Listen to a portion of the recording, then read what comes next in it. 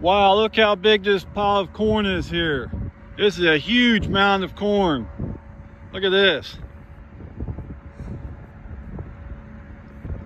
This is massive. They don't have anywhere to store this, so they got to dump it on top of the ground. And there's trucks waiting in line right here. See that? So there's other trucks waiting in line to dump their corn. This is a huge pile of corn. Circleville, Ohio. Right next to the railroad tracks. Got Norfolk Southern on one side, CSX on the other.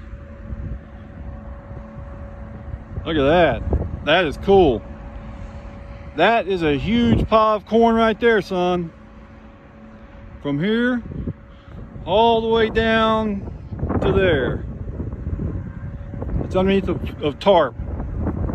Putting the tarp over top of it and then storing it here temporarily.